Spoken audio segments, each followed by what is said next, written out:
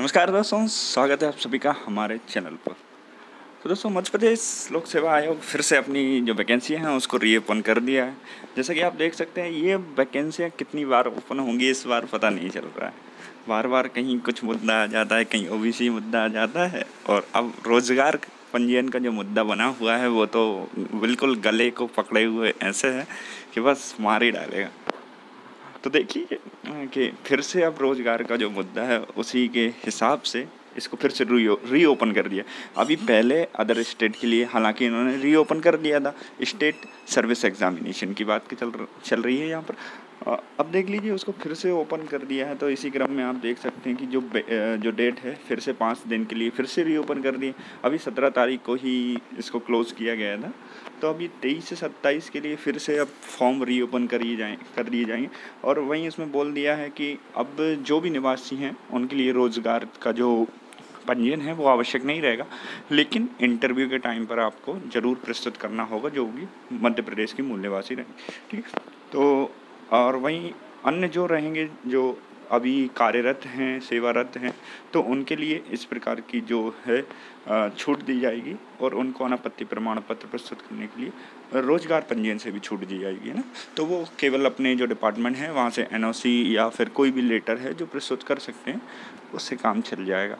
तो देख लीजिए, अभी क्या है, स्टेट इंजीनियरिंग सर्विस एग्जामिनेशन में भी ऐसा ही कुछ हो रहा है, उसके भी फॉर्म रीओपन हो रहे हैं। मुझे ये समझ नहीं आता कि जब कोई नियम लागू होता है या हाई कोर्ट का कोई निर्णय आता है या सुप्रीम कोर्ट से भी जो जजमेंट आते हैं तो वो सभी के लिए लागू होते हैं। तो ये पर्टिकुलर एग्जामिनेशन को कं, को बेसिस बनाकर ये रीओपन कर दे करना चाहिए इनको कि सभी के लिए कर दें। लेकिन ये करते क्या है? ये केवल स्टेट का कर दिया फिर इंजीनियर करेंगे ऐसे डेंटल का कर देंगे। कल को कोई और परीक्षा होगी फिर उस पर होगा। अभी व्यापम पे भी चलेगा ऐसे ही मुद्दा क्योंकि वहाँ पर भी अदर स्टेट के लिए ओपन नहीं है। वहाँ भी ऐसे ही जो एप्लीकेशन फॉर्म है वहाँ पर भी सेम रहेगा। आ, फिर उस पर भी ऐसे ही नाटक होंगे। तो अच्छा है कि पहले ही व्यापम भी इस इसके लिए सतर्क हो जाए और चाहे तो वो रीओपन कर दे सभी के लिए। आ, लेकिन आ, देख सकते हैं अदर स्टेट में भी हम बात करते हैं जैसे छत्तीसगढ़ का हुआ। तो वहाँ पर क्या करते हैं जो दसवीं उनकी होनी चाहिए तो स्टेट से होनी चाहिए। तो इस हिसाब से वो रास्ट्रिक्ट कर देते हैं, लेकिन वहाँ पर कोई केस नहीं करता, सिर्फ़ एमपी में ही लोग केस कर देते हैं। तो और अदर जैसे कि अब ठीक है, अच्छी बात है, सभी को मौका मिलना चाहिए।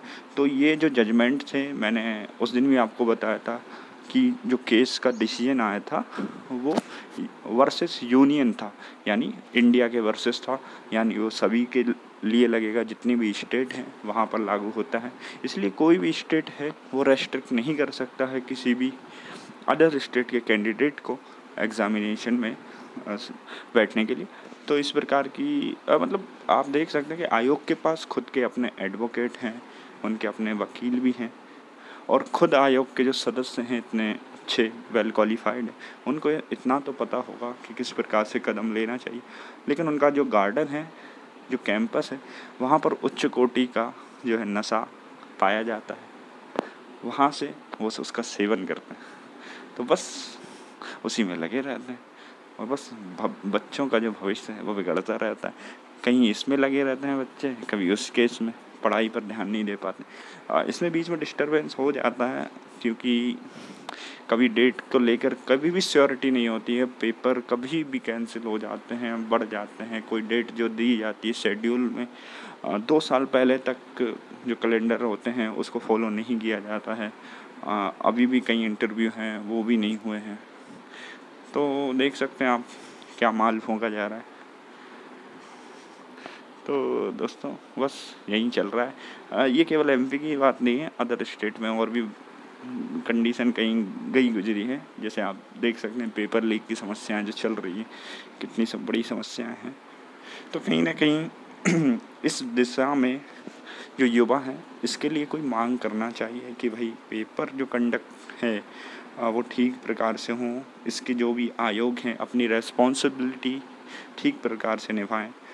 और जो भी हमारे जनप्रतिनिधि हैं, आपके अपने शहर के विधायक हैं, उनके थ्रू आप इस प्रकार की मांग कराए जाएँ कि इसके लिए जो भी लोकायुक्त की टीम है, इस पर कड़ी नज़र रखें कि इस प्रकार की गड़बड़ी ना हो, पेपर लीक ना हो, या पेपर का जो शेड्यूल है, किस किस हिसाब से किस किन को फ़ायदा पहुँचाने के लिए इस प्रकार की जो है, चालें चली जाती हैं। अब देख सकते हैं कि कहीं ना कहीं इसको मतलब आगे क्यों बढ़ाया जा रहा है? अभी पंचायत इलेक्शन आ रहे हैं। पूरा एनालिसिस आप देख सकते हैं कि हाँ भाई 2023 में आपके चुनाव हैं तो तब उसके पहले तक आप वैकेंसी निकालोगे, फिर पूरा प्रशासन उसमें लग जाएगा, फिर किसी या किसी वजह से आपकी जो वैकेंसी है, फिर डिले हो जाएगी। तो ऐसे ही चलता रहेगा। इसके लिए हम और आपको ही आगे आना पड़ेगा, जुड़े रहना पड़ेगा, एक दूसरे से संगठित रहना पड़ेगा। हाँ तो दोस्तों, बने रहिए हमारे साथ। आप सभी का धन्यवाद।